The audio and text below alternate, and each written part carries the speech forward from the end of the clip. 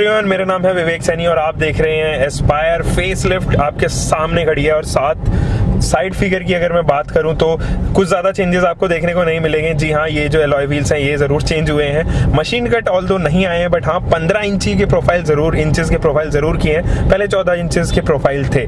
Side में ही integrated है इसके इंडिकेटर्स ओ के अंदर। Oops I am sorry so ये जो आप देख रहे हैं अभी हैंडल्स डोर हैंडल्स वो भी कलर ही है। बॉडी कलर के साथ में आपको यहाँ पर आते हैं। विद इन थ्री स्टेप यहाँ पर डोर आपको मिलते हैं। चलिए थोड़ा सा रिवर्स में रियर में चलते हैं और रियर में आप देखोगे तो you get the same tail lamps यहाँ पर टेल लैम्प जो है बिल्कुल सेम है। और हाँ यहाँ पर क्रोम की ज़रूर फिनिशिंग दी गई है। यहाँ पर फीगो एस्पायर का आपको लोगो मिलता हुआ नज़र आएगा। यहाँ पे टाइटेनियम टी यानी कि ये डीजल वेरिएंट अभी आपके सामने खड़े हैं। नीचे से आपको जो है डुअल प्रोफ़ाइल देने की कोशिश की गई है बिकॉज़ नीचे जो है आपको dual tone black and finish मिलेगी। चलिए दोबारा से साइड प्रोफ़ाइल में आते हैं। इंटीरियर में बढ़ने से पहले थोड़ा सा इंजन स्पेक्स देख लेते हैं। ऑल अब तीसरा इंजन ऑप्शन भी यहाँ पर इंट्रोड्यूस कर दिया गया है ओ आर आप देख ही चुके हैं ऑलरेडी इंटीग्रेटेड है यहाँ पर टर्न इंडिकेटर्स भी। जो इंजन ऑप्शन है वो तीन ऑप्शन में अब आ रही है 1.2 लीटर के पेट्रोल इंजन 1.5 लीटर के डीजल इंजन एंड 1.5 लीटर के पेट्रोल इंजन जो आपने एको स्पोर्ट में देखे हैं, ये तीनों ही इंजन आपने एक्सेप्ट 1.2 लीटर जो है, वो आपने एको स्पोर्ट में देखे हैं 1.2 आपने फ्री स्टाइल में देखे अगर यहाँ पे हेडलाइन यूनिट की बात करूँ तो ब्लैक स्मोक ट्रीटमेंट यहाँ पे दिया गया है projector headlines and LED DRL panels completely missing है। जो फॉगलम यूनिट है, उसमें भी क्रोम की प्लेटिंग दी गई है। जैसे कि आप देख सकते हैं, यहाँ पे इंसर्ट जो है, वो क्रोम इंसर्ट है। और जो ग्रिल देख रहे हो ना ये, इसमें भी आपको फिनिशिंग मिलेगी सिल्वरिश यानी कि क्रोम की फिनिशिंग मैं इसको हनी कोम स्ट्रक्चर तो नहीं कहूँगा बट हाँ मैट ट्रीटमेंट ज़रूर यहाँ पर हल्की सी आपको नज़र आएगी। नीचे जो है एडम्स वो भी थोड़ा सा पतला है। और यहाँ पर देखिए तो फ्रंट लुक में थोड़े से चेंजेस तो आए हैं। फॉर्ड का यहाँ पर लोगो दिखाई दे रहा है आपको। और चलिए थोड़ा सा और साइड में चलने की कोशिश करते हैं। हम सॉरी थोड़ा सा लोग जो है यहाँ पर ज़्यादा हैं। और ये देखिए साइड प्रोफ़ाइल से आप दोबारा से एक लुक देख सकते हैं। Although there are not many changes in this car but yes जो चेंजेस आए हैं, जो फीचरिस्टिक चेंजेस हैं, जो फीचर्स और इंजन स्पेसिफिकेशन इंप्रूव हुए हैं, वो ऑब्वियसली अच्छे हैं। 1.2 लीटर का जो इंजन है, वो ड्रैगन सीरीज़ इंजन है। और, फ़िलहाल आप उसको फ्री स्टाइल में देखते हैं। तो ये रहे अमित सर और ये रिकॉर्ड कर रहे हैं। एंड देखिए, यहाँ पर आप देखोगे पियानो फिनिशिंग दी गई है रियर के इंटीरियर्स में और काफ़ी हद तक बीच का कॉम्बिनेशन ही आपको मिलेगा।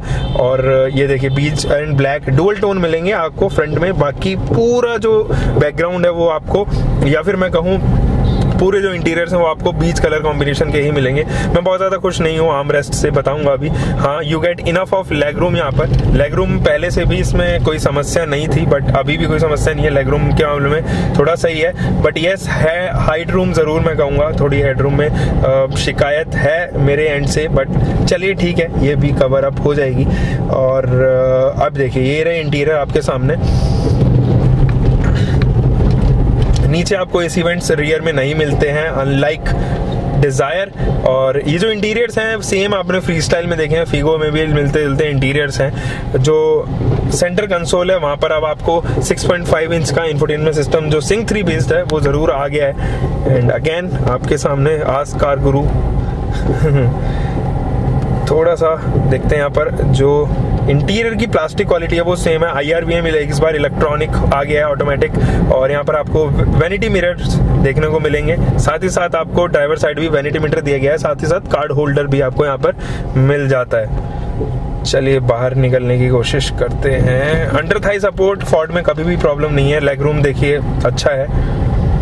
ए, तो थोड़ा सा मूव करेगी शायद गाड़ी यहाँ पर। ये लोग थोड़ा सा आगे करना चाहते हैं गाड़ी को। And he is no moving the car ahead थोड़ा सा आगे शायद जर्नलिस्ट को प्रॉब्लम हो रही है यहाँ पर.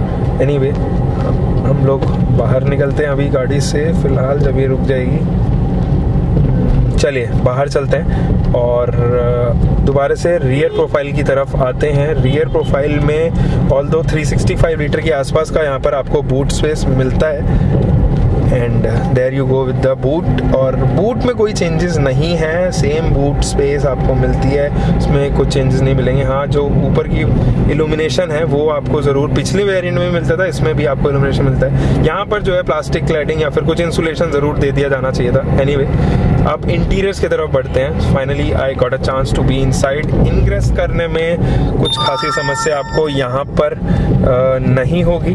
सो so, इनग्रेसिंग इंग्रेस किया ये देखिए three spoke steering wheel it is the same steering wheel which you see in Freestyle Figo पुराने वाली एस्पायर थम कंटूर के साथ में माउंट्स किए गए हैं यहाँ पर स्टेयरिंग पर ही। और ये रहा 6.5 इंच का इंफोटेनमेंट सिस्टम जिसके बटन नीचे दिए गए हैं। ये रहा आपका गेयर नॉब गेयर लीवर पे भी पियानोश फिनिश दी गई है।